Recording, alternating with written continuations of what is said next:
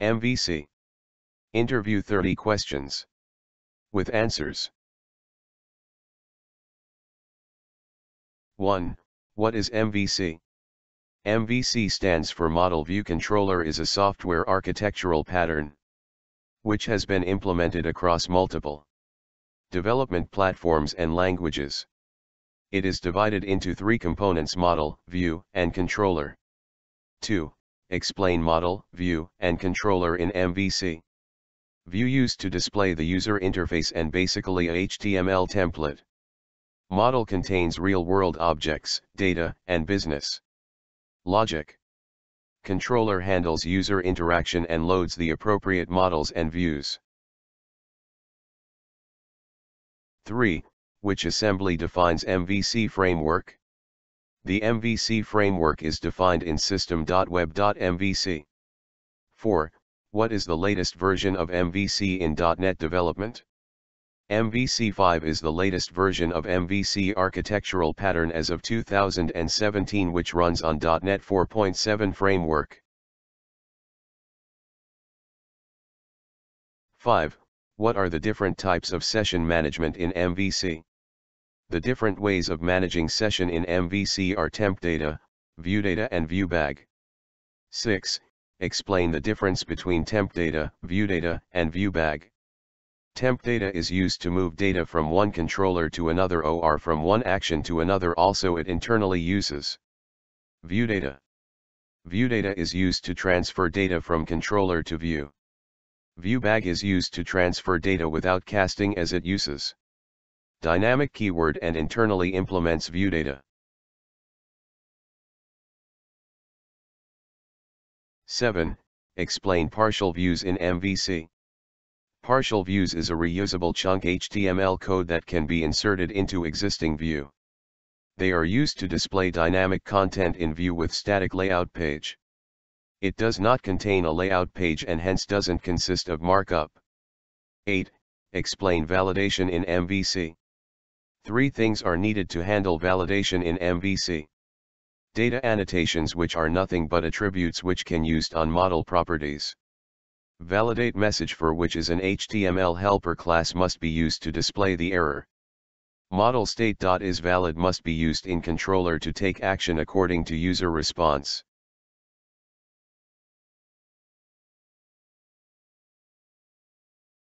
Nine. What is Razor View in MVC? Razor is a lightweight view engine introduced in MVC3. Razor views can be created with two extensions, .cshtml for C Sharp. VBHTML for Visual Basic. 10. What are the advantages of MVC?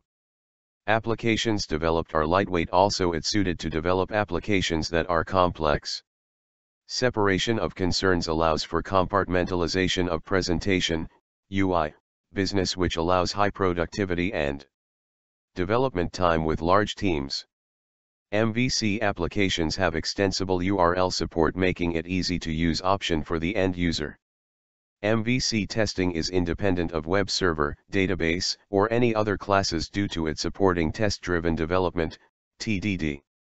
Approach Concept of view state is eliminated which allows the building of a lightweight application while giving full controller to the developer.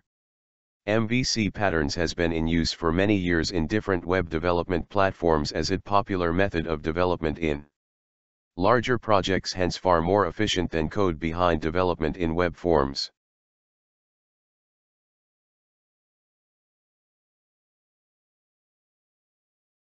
Eleven.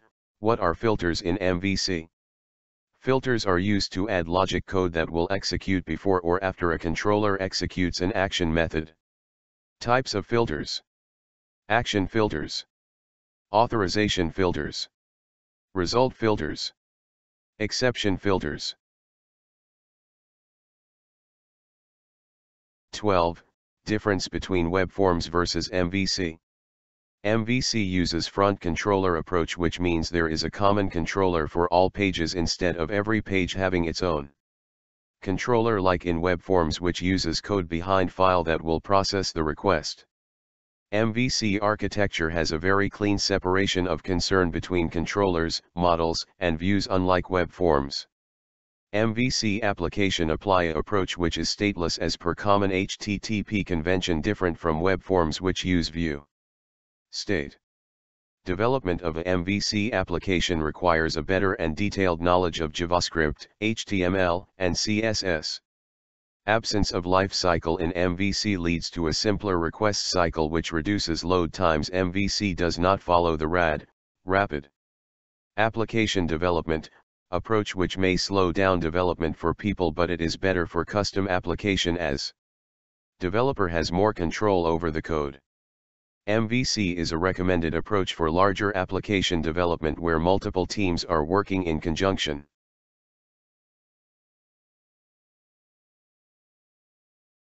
Subscribe.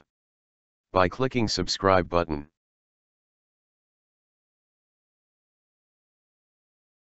Thirteen, Explain HTML helpers in MVC. HTML helpers in MVC work in almost the same way as server control as they are used to generate HTML elements which might be needed for links, images, and for form elements. These HTML helpers are lightweight as they do not contain view state and event model attached to them. 14. What are action filters in MVC? The action filter is an attribute that we can apply on a controller action or an entire controller if we need to. Types of action filter. Output cache it is used cache the output of a controller action for a specified period of time. Handler error, it is used to handle errors raised when a controller action executes in MVC. Authorize, it enables you to restrict access to a particular user or role.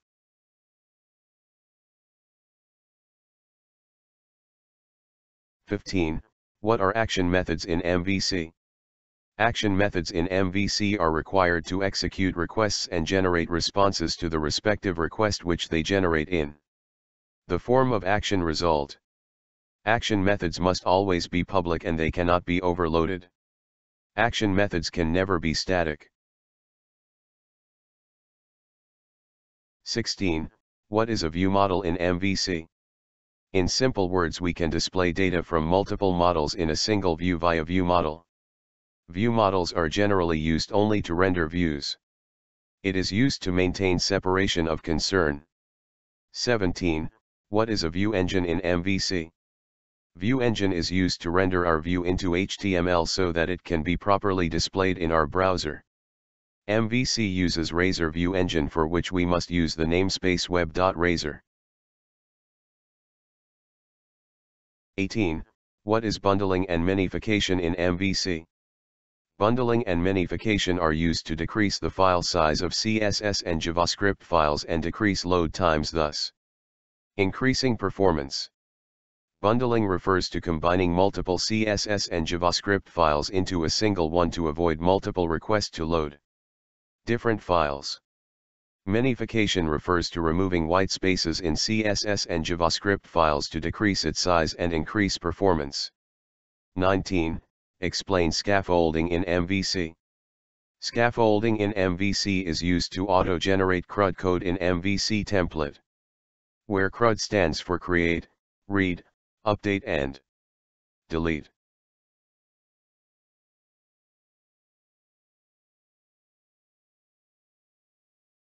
share in your social networks and messengers. 20. Explain exception handling in MVC. Exception handling is necessary to track errors in our application and display proper message on their occurrence. Exception handling in MVC can be done by the following way. Simple try and catch. Override on exception method. Using handle error attribute. Inheriting from handle error attribute. Handling HTTP errors. Global error handling in MVC. 21. Explain areas in MVC. The concept of area is to divide a large application in multiple smaller modules so that they are easy to develop and maintain in the future. Each area have their own controllers, models, and views. Each functionality unit is in a different model. 22. What is output caching in MVC? Output caching is used to greatly improve the performance of a MVC application. It allows us to cache the content returned to controller so that the same content does not need to be regenerated each time the same controller method is invoked upon request. It reduces network traffic, reduces server round trips, reduces database round trips etc. But few things should be kept in mind while using this i.e. we must avoid caching content that are unique per user along with using caching for content that is accessed frequently and avoiding caching of contents that are rarely used.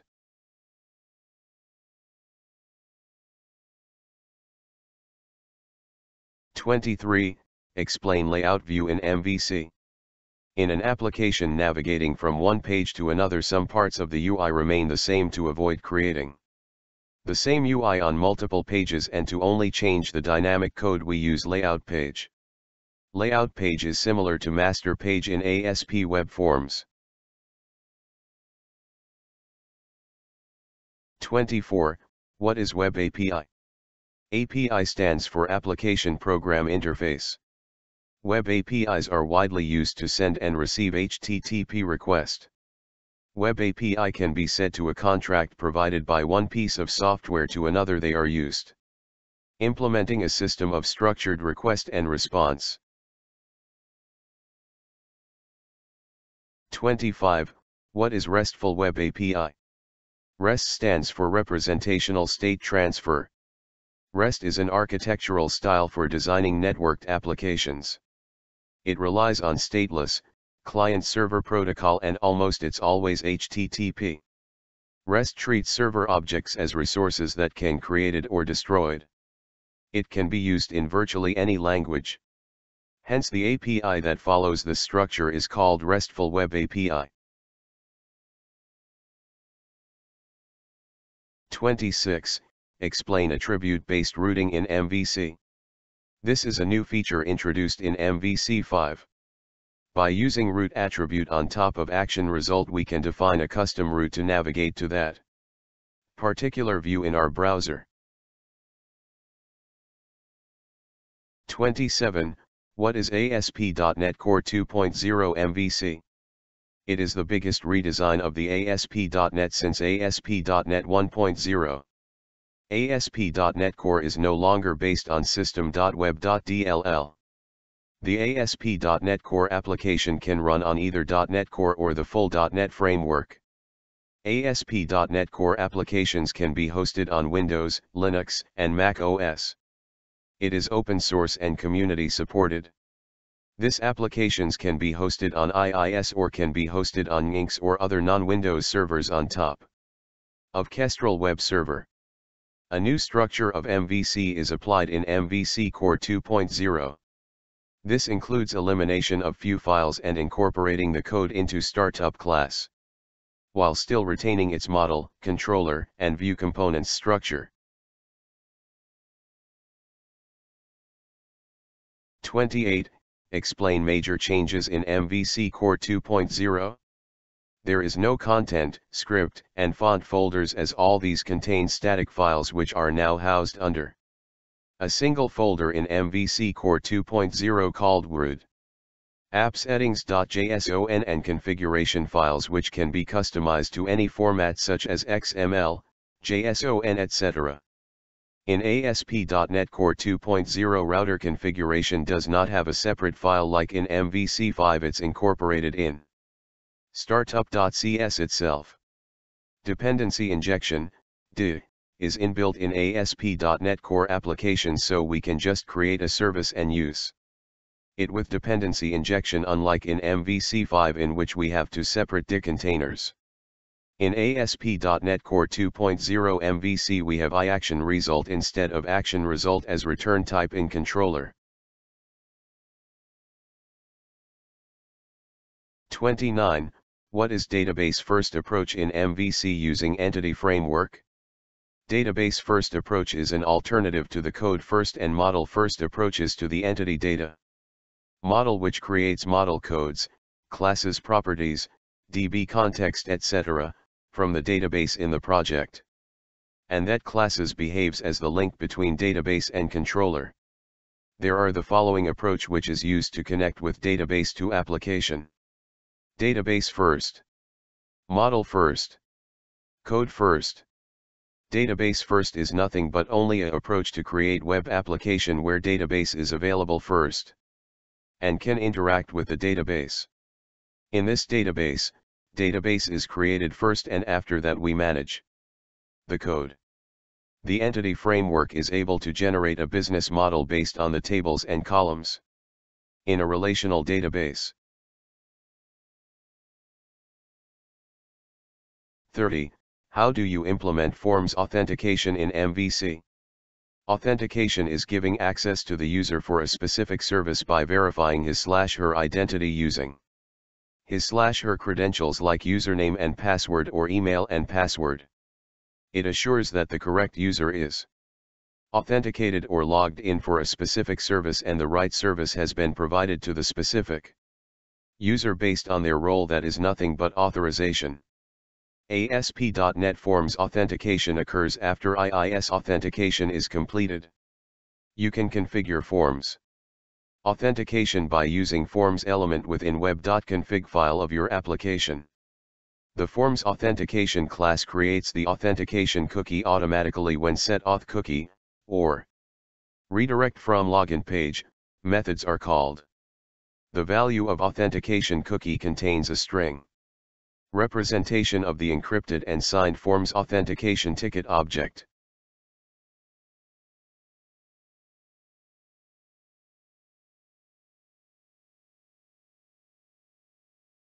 Thank you for watching. Share through social networks messengers. Navilu videos subscribe and share. Thank you.